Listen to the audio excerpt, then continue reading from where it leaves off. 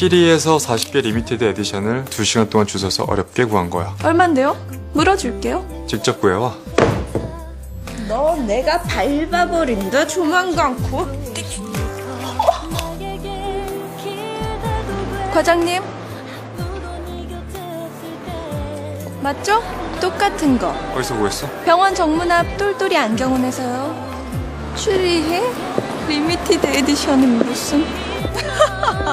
우리 병원에 지원한 동기가 뭐예요? 저희 어머니께서 이 병원에서 돌아가셨습니다. 이 병원에 와서 치료받으시고 8개월이나 더 사셨습니다. 오늘부터 근무해. 교수님! 아, 근데 저를 뽑아주신 이유가 잠이 없어 보여서.